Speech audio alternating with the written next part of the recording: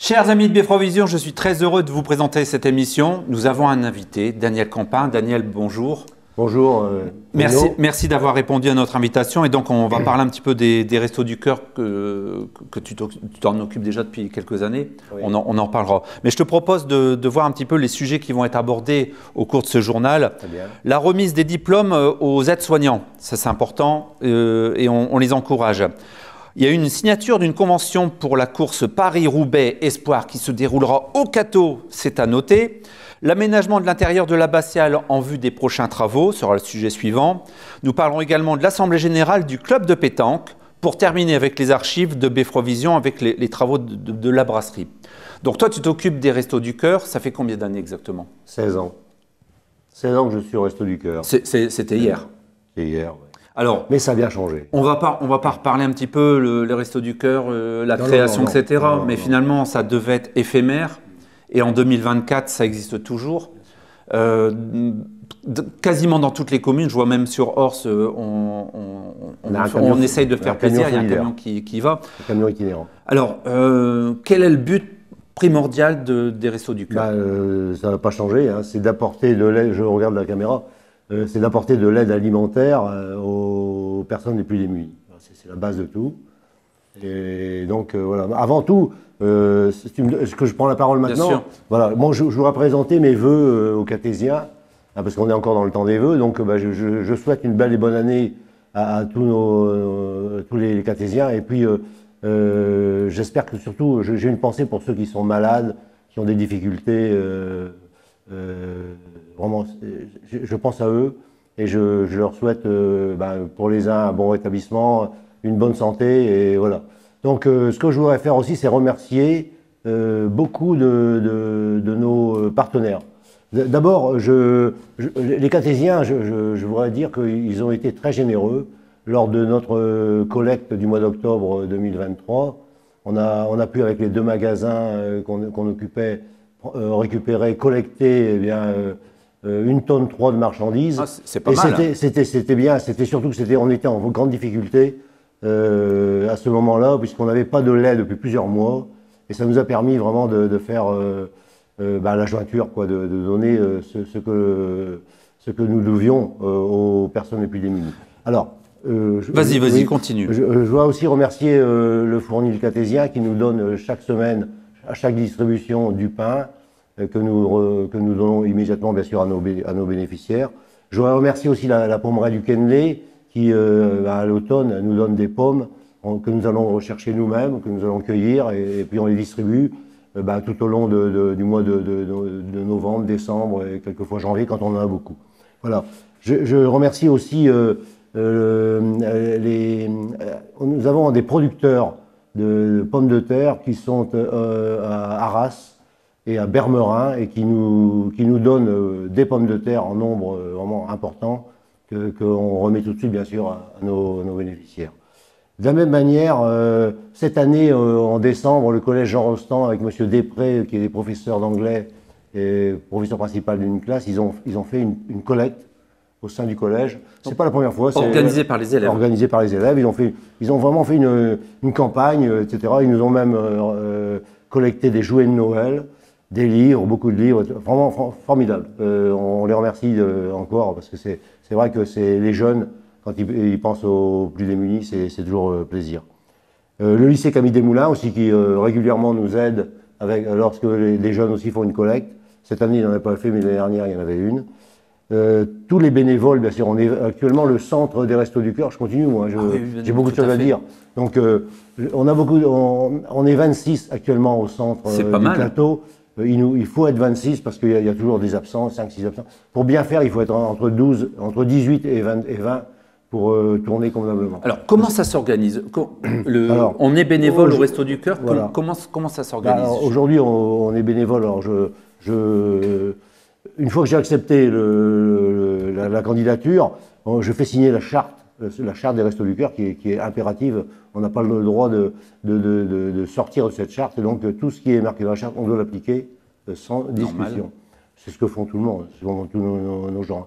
Et donc, une fois que la personne elle, elle s'inscrit, ben, je, je la guide vers un poste Alors, comment ça fonctionne aujourd'hui, Resto du Cœur? Le lundi après-midi, il y a quatre, il y a deux véhicules qui s'en vont vers Rennes pour chercher les marchandises. Deux véhicules, donc j'ai deux chauffeurs et deux euh, accompagnateurs.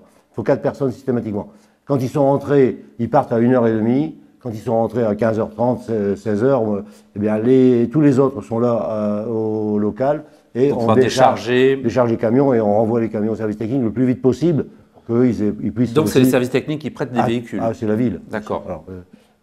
Alors, euh, je- euh, parce que là, je, j'ai un peu esquivé euh, du fait que je parle. moi, J'aurais voulu remercier avant tout, avant de commencer quoi que ce soit, remercier tout le monde. Hmm. Hein, parce que, bah, par exemple, on parle des services techniques.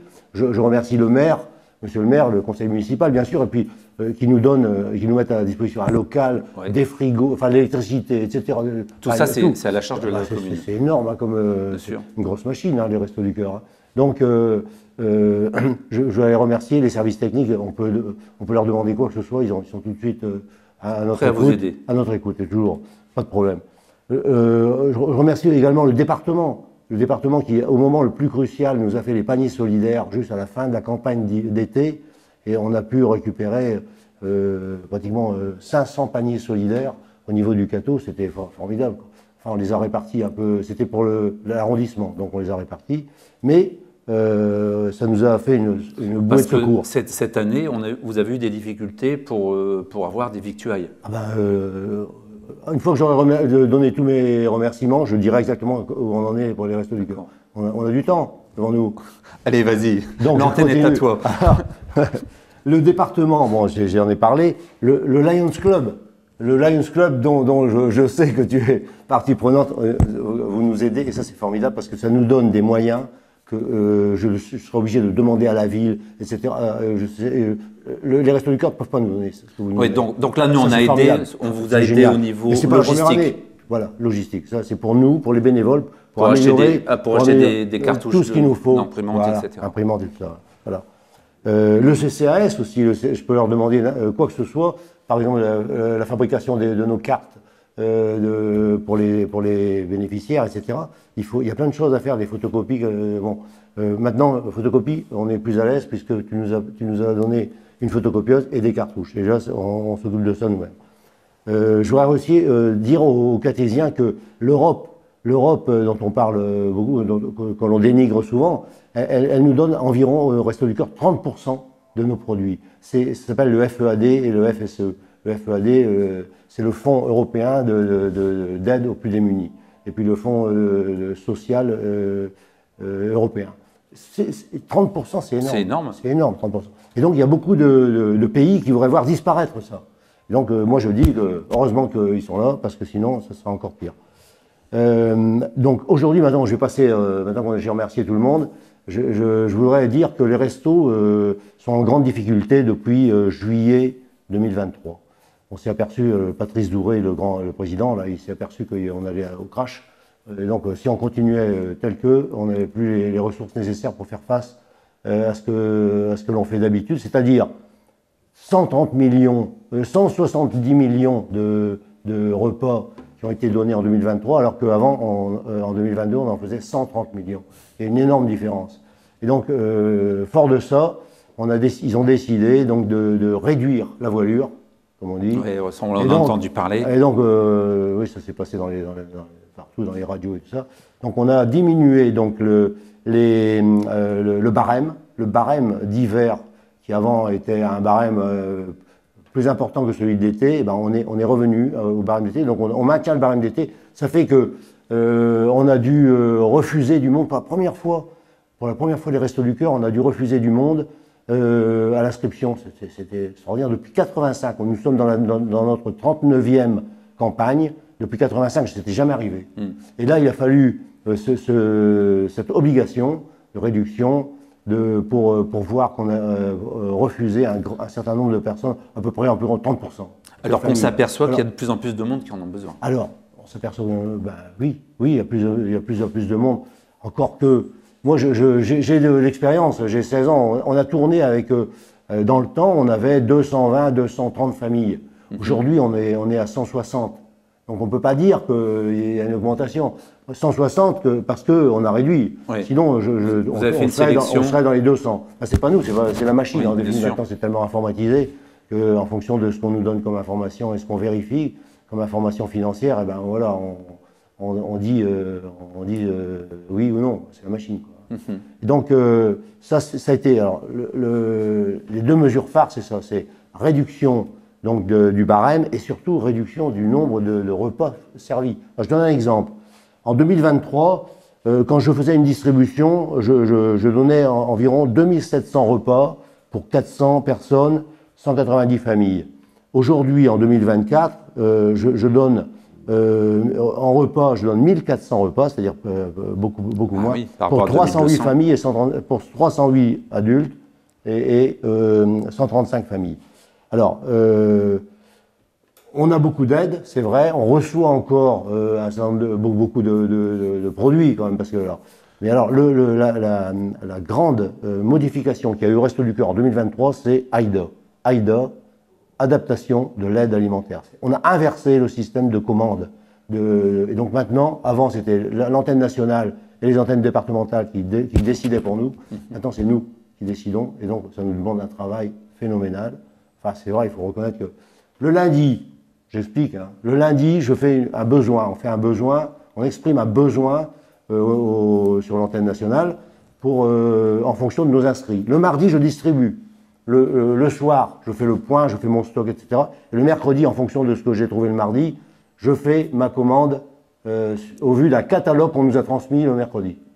Ça veut dire qu'on est toujours. Et le jeudi, le jeudi, je dois faire la, distribution pour, la, pour le mardi qui suit alors, ça représente à peu près combien d'heures de travail? Je ne les compte pas. Je ne compte pas les heures de travail. Et puis il n'y a pas que moi. Non, il y a, toute l'équipe. Il y, a toute l'équipe. Il, y a des gens qui sont spécialisés dans la répartition des desserts, des protidiques, de l'accompagnement. Enfin, ouais, c'est, les du Cœur, c'est, vraiment quelque chose de, de, très euh, marqué. Donc on peut peut-être remercier les 26 bénévoles du CATO. Ah bah, je, l'ai déjà, dit, hein, je ne l'ai pas oublié. Et, et s'il y a des personnes qui nous regardent qui seraient peut-être intéressées de venir donner un petit coup de main, euh, qu'est-ce qu'il faut qu'ils fassent? Bah, euh, Alors, pour l'instant, 26, on est 26, on est, on est quand même. je ne peux pas dire à tout le monde de venir au Resto du Cœur. Il y a beaucoup de gens qui seraient qui serait fanat pour venir. Mais bon, il faut être réaliste. Hein. Bah, euh, aujourd'hui, mais euh, il y a un turnover naturel. Il y a des gens qui, s'en vont. Alors par contre, euh, moi ce que je voudrais dire, c'est que j'ai 16 ans de, de, de Resto du Cœur. Je vais encore faire ça pendant deux ans. Et là, j'appelle, je, fais un appel. Hein, je, je, devais venir déjà depuis longtemps. Je fais un appel aux catésiens. Il faudrait que quelqu'un vienne me seconder, me seconder et puis euh, se former et puis pouvoir prendre euh, la place de. Donc un jeune, aujourd'hui, un jeune retraité dynamique. Voilà, parfait. Bah, euh, alors aujourd'hui, on a une bonne équipe, mais j'ai demandé moi, est-ce que quelqu'un serait fanat pour reprendre le relais, mais pour l'instant, il n'y a personne. Et, compte tenu de la charge de travail, il y a environ deux ans de formation. Je, je le dis, je, les gens vont dire il est fou lui, non, mais non. Il y a deux ans de formation parce qu'il faut se former à tout le système, tous les systèmes Ulysse pour, euh, pour les inscriptions, orientation. Il faut euh, Parker pour la gestion des bénévoles. Euh, AIDA pour les, hmm. commandes, etc., etc. Il y a plein de, de, systèmes comme ça qui font que aujourd'hui, pour être opérationnel, il faut vraiment avoir de l'expérience. Il faut avoir vraiment de l'expérience. Voilà. Je, je voudrais terminer pour, en disant, en 2024, nous n'aurons pas réponse à tout au reste du cœur, mais nous serons toujours présents pour les personnes les plus défavorisées. C'est bien préparé. C'est bien préparé. Alors, je te propose de regarder ensemble les, sujets parce que finalement, euh, on va présenter quand même le journal. Euh, L'IFAS du Cato. Tu connais L'IFAS, oui. Donc c'est l'Institut de formation des aides-soignants qui a été mis en route, euh, finalement c'est la troisième, la troisième promotion. Eh bien, elle vient de, procéder à la, cérémonie officielle de remise des diplômes. Ces jeunes diplômés, c'est important, sont tous assurés d'être recrutés à l'issue de leur formation. Sur 15 places, il faut savoir que 12 élèves se sont présentés au concours, 10 ont obtenu le diplôme et 6 étaient déjà recrutés. Alors félicitations à tous. Bon courage à la nouvelle génération. Il faut savoir qu'apparemment, il, y a 25 étudiants en formation pour devenir aide-soignants. Regardons le reportage. Aujourd'hui, nous organisons la cérémonie de remise des diplômes pour les nouveaux lauréats de, cette promotion 2023. Qu'est-ce que ça signifie euh, IFAS IFAS, Institut de formation d'aide-soignants. Donc c'est une formation qui se déroule sur une année et aujourd'hui c'est le grand jour pour nos élèves qui deviennent des professionnels de santé. Et qu'est-ce que vous souhaitez aux diplômés? Alors je leur souhaite bien évidemment une réussite dans leur carrière professionnelle, un épanouissement dans leur carrière professionnelle, mais aussi euh, un accomplissement dans leur vie personnelle. Souvent, les deux sont liés. Quand on est bien dans sa vie personnelle, on est aussi bien dans sa vie professionnelle et qu'ils puissent euh, trouver l'épanouissement et la voie, le, lieu d'exercice où ils seront bien. Effectivement, nous avons 16 diplômés aujourd'hui et dans quelques mois, il y en aura euh, quelques-unes de plus, donc c'est super. 16 personnes qui vont commencer dans leur vie active, là, très prochainement. Donc euh, voilà, à nouveau des professionnels de santé qui vont arriver sur le terrain. J'espère qu'ils vont arriver euh, pour la plupart au centre hospitalier du Cateau. Euh, on a commencé déjà un nombre de recrutements, on espère poursuivre. Voilà, donc c'est l'avenir là aujourd'hui. Alors moi c'est Angélique, je suis maintenant aide-soignante. Donc j'ai choisi ce métier par rapport au relationnel, euh, le, apporter le savoir-être, le savoir-faire euh, aux patients et aux résidents. Et euh, parce que l'humain c'est nous demain. Alors bonjour, moi c'est Le Pro Camille. j'ai été avant d'être aide-soignante élève, enfin j'étais auxiliaire de vie pendant 8 ans.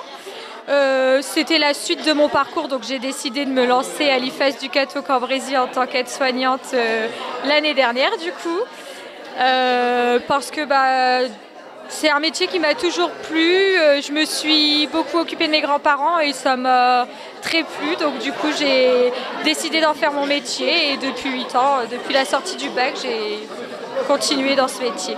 Comment s'est passée votre formation? Alors la formation, alors faut savoir que c'est une formation euh, qui prend beaucoup de temps. Euh, il faut donner euh, vraiment beaucoup de, soi. c'est une année vachement enrichissante, épanouissante, où on apprend tout le temps et que c'est enfin, vachement agréable de pouvoir transmettre ce qu'on nous a appris. Alors moi c'était un peu plus compliqué parce que j'étais dans un parcours partiel. Elle était en complète, moi j'étais en partiel donc j'avais pas beaucoup de modules, j'avais qu'un bloc à faire et trois modules. Après, euh, bon, ça a été, on a bien été encadré malgré tout. Euh, ça s'est bien passé. C'est une super école que je recommande. Alors, on apprend, euh, ça dépend les, enfin, les 10 modules, l'accompagnement à la personne, on apprend la communication, on apprend à former les pairs, on apprend les, soins, les soins techniques, on apprend le, le M3-M4, c'est ouais, la pharmacologie, l'anatomie. Euh, l'ergonomie aussi. Euh, enfin voilà, on apprend les, les, transmissions, les soins d'hygiène, les, ouais, voilà, la sécurité, les, voilà, pas mal de choses. Et qu'est-ce que vous visez euh, pour l'avenir? Alors moi, euh, je préfère euh, rester dans, bah, en tant que métier d'aide-soignante parce que c'est beaucoup plus proche, on est au plus proche du patient.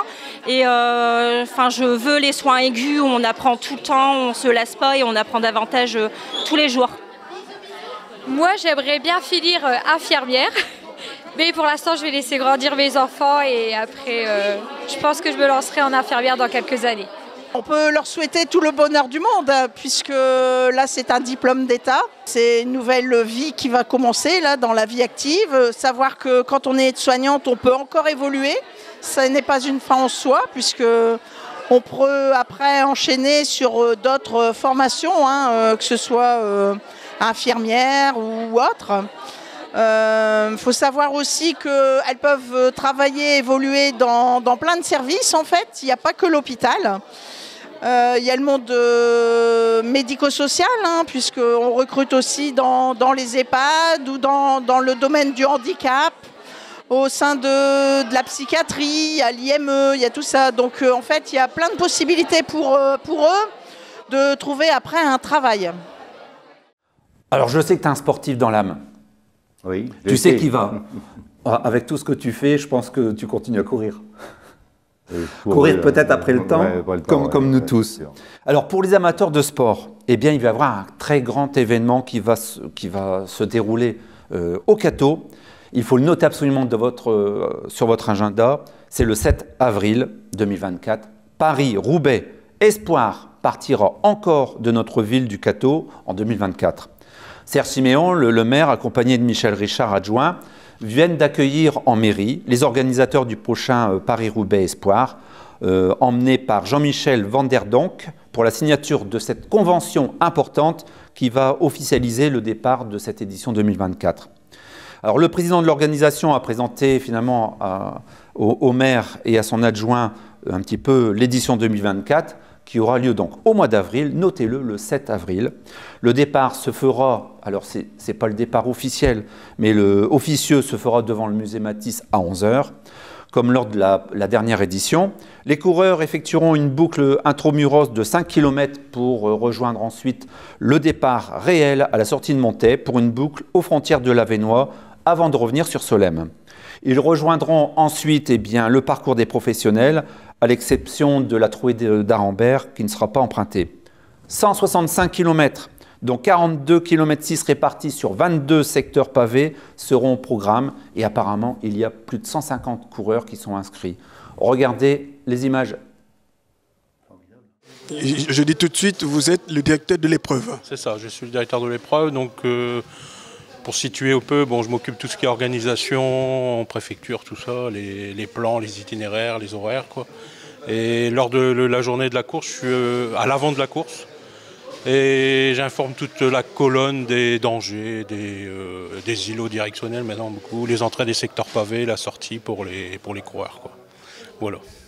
Donc vous connaissez aussi le nombre d'équipes euh, qui doivent venir là? Oui, là cette année il y en aura 22 équipes de 7 coureurs.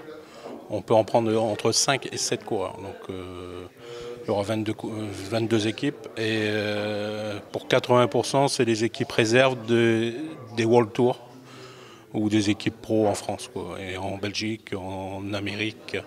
Voilà. Alors donc toutes ces, toutes ces équipes sont de quelle provenance exactement? Alors nous avons de France bien sûr, de Belgique, on en a une d'Amérique, et euh, Angleterre, il me semble. Voilà. Mais principalement en Europe. Quoi. Vous repartez du Cato Oui, nous repartons de Locato.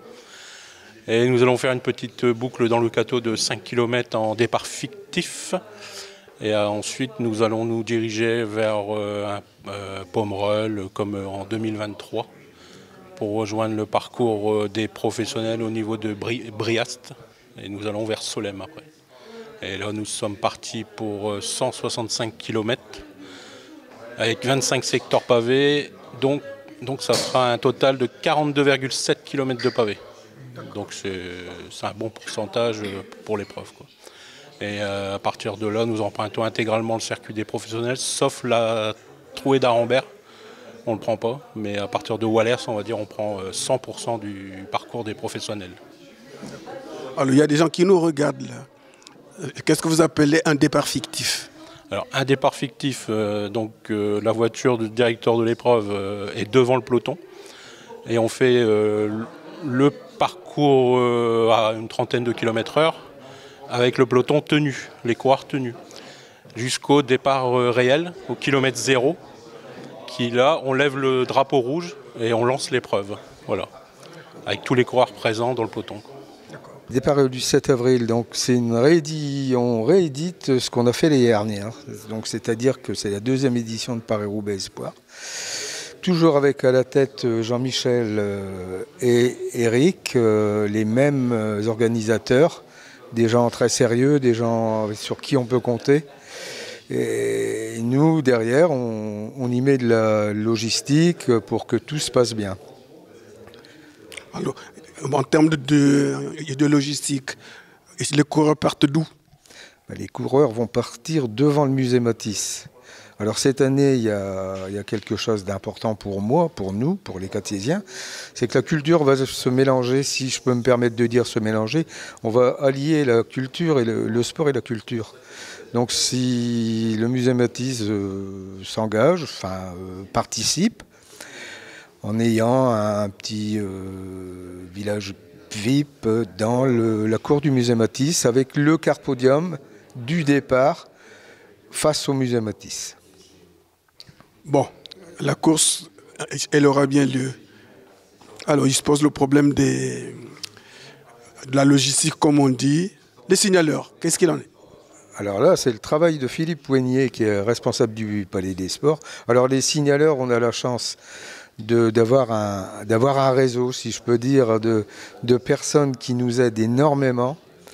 Et nous avons à peu près une, entre 45 et 50 signaleurs qui est capable de pouvoir répondre à, nos exigences. Et bon, je dirais que l'avantage, c'est qu'on a créé un, un, lien qui est, qui est chaleureux. Et les gens nous demandent de pratiquement de. Bah, ils nous disent tout simplement on est à disposition euh, dès que vous avez besoin de nous on les reçoit, on les, on les, on les cajole, parce que c'est vrai qu'on peut dire qu'on sait les recevoir, et puis eh ben, ça porte ses fruits, puisqu'ils sont toujours présents. Et alors, merci encore euh, déjà au travail de Philippe Ouigné, et puis merci à tous les signaleurs. Alors, les signaleurs, c'est un petit peu les, les présidents d'associations, les membres d'associations sportives, hein, qui, qui, aident un petit peu, et tout, tout ça va très bien, et encore merci. Donc nous avons un bon vivier quand même. On a un bon vivier, et ce qui permet aussi d'avoir une sécurité au niveau des organisateurs. Hein, euh, il se trouve que parfois dans des, dans des villes ou des villages, personne ne veut euh, faire la signalétique, enfin, pas la signalétique, mais organiser le, la, gestion du, parcours. Donc euh, bah, ça pose des problèmes parce que s'il n'y a pas de sécurité, c'est dangereux. Et puis donc voilà, donc on a quand même cet avantage euh, nous, on a un avantage, mais eux, ils ont un avantage de euh, que nous, on puisse le faire. D'accord. Donc, qu'est-ce qu'on dit aux cartésiens? Eh ben, Vous allez avoir du sport gratuit. Alors, la particularité de, cette année, c'est que on va il va y avoir les juniors, il va y avoir les espoirs. Et tous ces coureurs, après il y aura les pros, et tous ces coureurs, à partir de Solem, vont emprunter le même parcours. C'est-à-dire que celui qui veut voir du sport gratuit pendant 4 heures, ben, il se mettra à partir de Solem et il verra tous les coureurs passer, parce que tout se fait sur la même journée. Pour, des raisons de, comment je pourrais dire, de Jeux olympiques, où euh, il est plus facile d'organiser, euh, de mettre toute la sécurité, les motards, euh, l'organisation, sur une journée que plusieurs fois dans l'année. Bien, c'est pas facile, hein? C'est pas facile. Bon, c'est un choix qu'on a fait avec Maurice Organisation, la préfecture, de tout faire le même jour. Ah, c'était un projet qui était dans nos tiroirs depuis quelques années, mais suite à cette époque de 2023, après la réunion qu'on a fait chez nous au Vélo Club après la course, on a pris la décision, chez Gounou et SO, dit OK, on fait tout le même jour. C'est une grosse logistique, puisque nous avons déjà le Paris junior, comme d'habitude, avant les pros. On vient s'attaquer entre deux.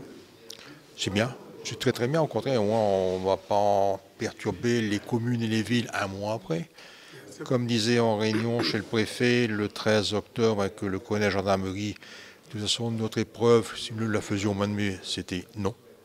Non, simplement parce que les forces de l'ordre seront beaucoup trop occupées avec les Jeux olympiques. Les escortes pour les équipes d'à côté, ceci, cela. Donc il est tout à fait content et conscient qu'on puisse faire tout le même jour. C'est une une bonne idée, très bonne idée. Alors, tout à l'heure, on vous avait signé des documents. Qu'est-ce qu'on peut retenir de ces documents que vous signez? Ces documents que nous avons signés, c'est le cahier des charges. Le cahier des charges qui est à partager entre la ville du Cateau et le Vélo Club de Roubaix. Et la convention. La convention qui nous unit maintenant pour trois années avec la ville du Cateau et l'organisation du Vélo Club de Roubaix pour Paris-Roubaix Espoir. Donc c'est trois années fermes? Oui, oui, tout à fait. Après ces trois années Après ces trois années, ben, on fera une convention avec monsieur le maire. Nous verrons bien d'ici là. malheureusement, ben, moi, je ne serai pas présent sur cette épreuve hein, parce que je suis mandaté par ASO pour le Paris-Roubaix femme, le Paris-Roubaix homme le lendemain, donc euh, je ne peux pas me couper en deux, c'est pas possible. Et c'est pour ça que c'est Eric Debrine qui va prendre ma place en tant que directeur de l'épreuve. Mais il sait bien faire autant que moi le travail, pas de problème. Bon, qu'est-ce qui vous a fait revenir au Cateau Ah, le Cateau, une ville merveilleuse.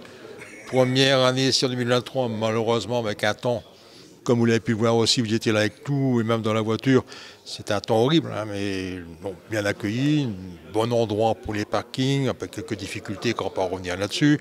La permanence est impeccable, et au niveau sportif, parce qu'on pose quand même la question aux sportifs après l'arrivée, qu'est-ce que vous pensez C'est important d'avoir la vie, parce que nous, on organise, on a les sportifs, mais écoutez, le Cateau, c'est merveilleux. On a un parking qui était bien, la salle est bien, le lieu de départ était beau, et cette année, enfin, l'année prochaine, le lieu sera encore meilleur, devant le musée Matisse, que demander mieux? Très bien accueilli au Cateau et j'espère qu'on pourra encore revenir très très longtemps. Je vous remercie. Merci, c'est moi. Bon, c'est vraiment bien que ça se passe au Cateau. Oui, c'est sûr. Bah Hein oui, hein, c'est toujours un événement. hein, Ça, ça s'est ça s'est toujours bien passé. C'est pas la première fois qu'on Non, c'est pas la première voit. fois. Et puis je pense qu'il y aura du monde. Ah, Tu, tu l'as noté. Oui, bah oui, c'est sûr. Bah, écoute, je te remercie beaucoup. Et puis peut-être un petit, un petit mot. Euh, Donc, euh, si les gens euh, veulent donner un coup de main, pour l'instant, c'est pas trop, pas trop d'actualité. Mais s'il y a quelqu'un qui se sent euh, l'étoffe pour, euh, pour prendre la suite, eh bien, il prend contact avec toi. Bah, S'il y a une date à retenir, euh, mesdames, messieurs, c'est le 1er, le 2 et le 3 mars. Ce sera la collecte nationale. Et là, on compte sur vous. Comme disait Voilà, Coluche. comme- Très bien. Merci beaucoup. Merci, euh, Befrovision. Eh bien, vous voyez, on a, on a vraiment beaucoup de monde aujourd'hui sur le plateau. Aline, bonjour. Bonjour Bruno. Alors aujourd'hui, tu représentes le Cato Expansion et attention, la commission manifestation, Animation. animation. Donc euh, euh, on va faire un petit, un petit point sur ce qui s'est déroulé en, en 2023 et puis euh, indiquer le, bah, euh, la semaine prochaine, tous les gagnants qui, qui ont été prévenus individuellement sont conviés pour la remise de, de l'eau. Alors, le Cato Expansion, c'est l'association qui regroupe les commerçants, les artisans, les professions libérales. Est-ce que tu pourrais nous faire un point sur toutes les activités qui ont eu lieu en 2023 Euh, il y en a eu énormément. Il y a eu euh, la course colorée qui a rassemblé énormément de monde. On, a une, On en a bien parlé. On en a beaucoup parlé, oui. Euh, il y a eu aussi une animation euh, pour Pâques, pour les plus petits, pour les enfants. Il y a eu aussi une animation pour Halloween, pareil, euh, sous forme de jeu de piste. Et puis euh, l'animation de Noël, du coup, euh, qui nous a pris beaucoup de temps là pour euh, Ah ben, cette fin d'année. Alors vous êtes, vous êtes nombreux dans, dans- dans le bureau, je crois que tout le monde a, a donné un bon, un bon coup de main. Donc tu peux rappeler la dernière opération, ça consistait en quoi? Euh, la, la dernière opération, c'était l'opération de Noël. Donc, euh, le, comment dire, le- chaque euh, commerçant avait une affiche euh, dans sa vitrine. Euh, les personnes qui souhaitaient participer à l'animation euh, rentraient dans le commerce, complétaient le- un petit bulletin. Ce petit bulletin était dans une urne, puis euh, regroupement général. Donc euh, toutes les urnes ont été regroupées. C'est ça, Il y a eu un, un tirage au sort en présence de Jérôme de Carpentier. Jérôme Carpentier, qu'on qu'on remercie au passage. Voilà. Et puis, euh, donc il y a énormément de lots qui ont été tirés. Euh, cette année, il y avait euh, 5000 euros de bons euh, cadeaux euh, d'une valeur de 50 euros qui ont été tirés. La mairie s'est joint aussi à l'opération pour une valeur de 2500 euros. Donc Euh, 7500 en, en gros. Oui, c'est ça. Et puis, il y avait d'autres lots. Donc, il y a une soirée cabaret qui a été mise en place, Mhm. euh, qui se fera au mois de mars sur Valenciennes. Et il y a également aussi des places qui ont été gagnées pour aller euh, voir Mickey à Ah bah. Disneyland Paris. On va envoyer Cécile et puis Claude alors. voilà. Mais euh, bon, bref, tout ça pour dire que euh, voilà, tout- tout- toutes les urnes ont été confondues, le tirage au sort s'est fait, et on a eu énormément de gagnants et remise des lots. du Vous coup, savez à là- peu près combien il y a eu de tickets? Eh ben, il y avait 12 000 euros, divisé par à peu près 50 euros de chèque cadeau. mais combien de participants? Tu le sais? En tant que commerçant, Ouais. il y a eu 35, 35 commerces qui ont Non, participé mais en, à en tant que l'opération. par- participant, pas au niveau des. Ah, tickets C'est difficile à. Je, je suppose que vous ne les avez pas comptés On parce pas que c'était- monstrueux. Donc là, logiquement, si les gens ont reçu un, un SMS ou un appel, ça. il faut qu'ils se rendent euh, vendredi. Vendredi. prochain. Voilà. Donc, euh, et Au on leur remettra au théâtre. On- Donc c'est une soirée privée. Oui. Hein. Donc euh, toutes les personnes qui ont été contactées, il faut, il faut qu'ils se rendent parce que si jamais ils ne se rendent pas sur place, ils peuvent déléguer, ils peuvent, ils donner une procuration? C'est ça, photocopie de la pièce d'identité, et puis la personne qui vient euh, monte patte blanche, D'accord. et on lui remet le lot. Et donc dans chaque commerce, il y, a- il y a eu deux ou trois gagnants à chaque fois. C'est ça, voilà. Donc, euh, bah donc euh, ça a fait plaisir aux commerçants, puis ça a fait plaisir à tous les catésiens qui, qui ont participé. C'est sûr. Alors, je vais te faire participer au niveau du, du journal, évidemment, et on va parler de l'abbatiale Saint-Martin. L'unique vestige de cette, cette abbaye euh, bénédictine qui a commencé à être construite en quelle année? Il y a très longtemps. 1634, c'est marqué sur le fronton. Et ça, elle a fini euh, dans, dans les années 1700. Bon, vous l'avez tous vu, il y a eu des, des- des gros travaux d'envergure qui, qui étaient nécessaires pour redonner à cette vieille dame un petit peu sa, sa splendeur d'antan. Bon, les, les travaux devraient durer trois ans.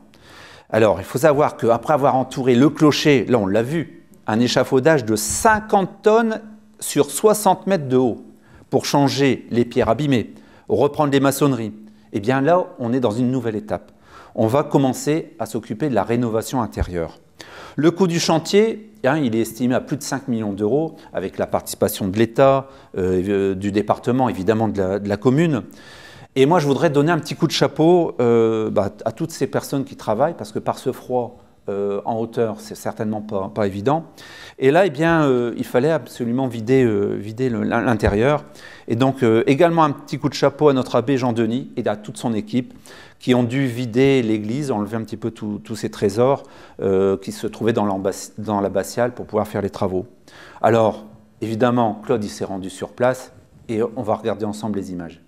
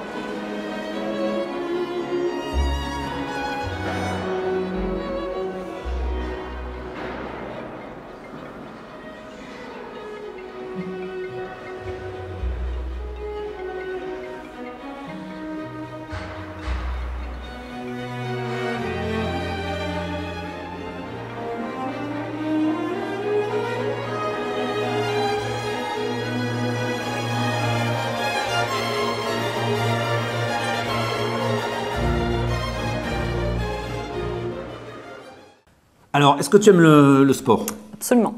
Est-ce que tu joues à la pétanque? Absolument pas. Eh bien, on va t'in- on va t'inscrire. Ce 6 janvier s'est tenue l'Assemblée Générale. Au mois de janvier, il y a beaucoup d'assemblées générales.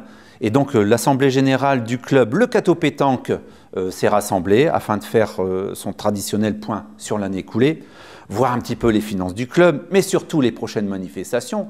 Et j'ai noté sur leur blog que leur prochain rendez-vous, c'est le vendredi 22 mars, jet de but à 19h45. Donc, on va t'inscrire et puis tu, tu- tu vas essayer de concourir. Donc, euh, euh, ça se situe évidemment rue du Pont-Fourneau, vous devez le savoir, à l'espace Turu. Et si vous voulez un petit renseignement, vous pouvez joindre le responsable au 06 32 03 40 21, que je salue bien, et on regarde les images. Aujourd'hui, c'était l'Assemblée Générale de 2023, euh, faite un petit peu en retard parce que, vu les conditions, et puis euh, on n'a pas eu le temps avant. Voilà, franchement, euh, c'était. Euh, en ce moment, je suis euh, renouvellement de licence une vingtaine. Euh, des licenciés, une, deux, trois, quatre. Il y aura peut-être quatre ou cinq nouveaux licenciés. Et des adhérents, bon, il faut compter 7 ou 8 déjà. Donc voilà, j'ai pas, j'ai pas tous les chiffres en tête. Pour l'année prochaine, pour les CDC, j'ai, pour faire deux équipes certaines. 2023, bon, il n'y a pas eu gros gros de gros moments, des CDC plus ou moins bien passés. Comment on discute Euh, Division. Donc euh, les divisions, euh, ça s'est bien passé pour, pour une équipe, mais bon, il y a des joueurs qui ne sont pas motivés, donc ils ne sont pas venus. on n'y peut rien, hein, c'est comme ça. les, choses de la vie. Voilà. On a eu que le challenge René Lemaire. Donc voilà. Et René Lemaire, c'est Madame, c'est Laura Lemaire qui a fini première féminine pour sa première année. Et moi, je l'ai eu pour la deuxième année le, le trophée. Donc euh, si je le gagne encore en 2024, ben, je garderai le trophée. Sinon, ben, il sera remis à une autre personne. Ça veut dire que le, relevé, le niveau était quand même euh, assez relevé l'année dernière, donc euh, ça allait. Ils sont tous plus ou moins équivalents, quoi. Donc ils, font de leur mieux. hein. Et bon, mis à part, bon, là j'ai une féminine cadette qui commence à, progresser. Euh, on va essayer de la faire progresser un peu plus euh, cette année. Il y en a une nouvelle qui vient de s'inscrire, donc euh, je vais essayer de les faire progresser toutes les deux. Donc, puisque j'attends comment j'attends les résultats de, la fédération française par rapport à ce que j'ai passé l'examen, le BF1. Donc, tant que tant que j'ai pas le, truc officiel, voilà. On peut-être le nom de cette demoiselle. C'est Mathilde Doué. Et il y a Catalane euh, l'empereur qui vient de s'inscrire cette année, qui est une cadette aussi. Donc euh, on va essayer de faire quelque chose euh, avec les deux jeunes. Les grandes dates, il y aura le 6 juillet, il y aura une doublette mix euh, 32 équipes, maxi, parce que j'ai que 16 terrains. Et le 9 juin, challenge René Lemaire. Et après, bon, il y aura des dates que j'ai pas encore euh, officiellement. Donc, euh, il y aura des CDC jeunes qui aura une entente avec euh, sûrement le club de Ch'ti Pétanque, euh, de tout près de Douai, pour que les, jeux, pour que la- les jeunes puissent jouer en, en CDC comme les grands, quoi. Alors c'est quand la reprise au boulodrome C'est ce mardi à partir de 14h, le 9, de 14h à 18h. Pour les personnes qui veulent euh, gagner à la pétanque, il faut venir au boulodrome. Oui, maintenant il faut venir au boulodrome ou alors mon numéro de téléphone euh, est marqué sur euh, comment sur les annales, donc il n'y a pas de souci. On peut m'appeler. Eh ben, que tout le monde aille bien, qu'ils ont la santé et puis que surtout euh, qu'on essaye de progresser encore un peu plus et qu'on fasse des meilleurs résultats. Alors, on va, on- va terminer un petit peu cette émission avec euh, euh, les archives de Bprovision. Vous savez que depuis un certain temps, eh bien, Cécile recherche dans nos archives, 20 ans en arrière, un petit peu ce qui s'est passé. Et finalement, là, elle a- elle a trouvé un sujet qui m'intéresse à double titre, puisqu'on parle de la brasserie. Cette brasserie qui, a été découverte avec une bande de, copains un, dimanche en faisant les, souterrains, on était arrivé dans cette cour qui était tapissée de pelouse. Et finalement, euh, avec Mme Scalabrino, elle nous avait permis de faire une visite guidée, je ne sais pas si tu l'avais, euh, avais participé à cette époque-là, euh, pendant les journées du patrimoine, et on avait eu plus de 600 personnes qui avaient participé, et de, avec le temps, et eh bien finalement, on a réussi à sauver cette brasserie. Et eh bien là, les archives de Beffrevision vous en montrent, c'est les travaux à la brasserie, regardez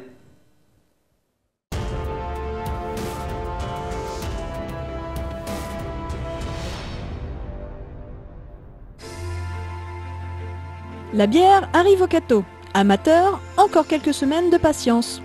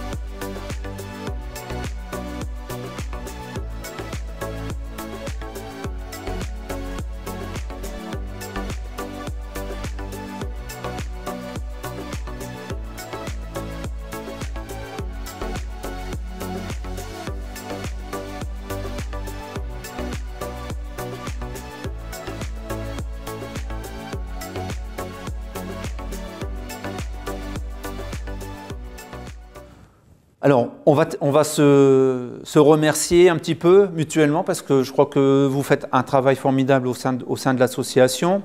Euh, je vais te laisser le petit mot de la fin, peut-être remercier tous les bénévoles qui, donnent un coup de main, qui ont donné un bon coup de main euh, en 2023.